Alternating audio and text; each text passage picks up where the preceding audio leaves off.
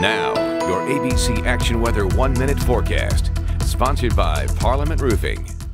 Hey, you doing, everybody? ABC Action News Chief Meteorologist Denis Phillips tracking some showers now exiting the area from the south. Had some rain across Pasco, Hernando, and Manatee, Sarasota, Pinellas, but for only about maybe a third of us, the rest of the area, not a drop of rain. And by tomorrow morning, slightly drier air comes in. It's still going to be warm although the morning will be pretty comfortable. The afternoon, we're back in the mid to upper 80s. Easter Sunday looks extremely warm, up in the lower 90s. So throughout the evening into the overnight hours, skies remain partly cloudy. Warm temperatures through next week, although rain chances bump up next week as a front gets close enough to increase our rain chances. So Florida's most accurate seven-day forecast, rain chances low through the weekend. They return by early next week.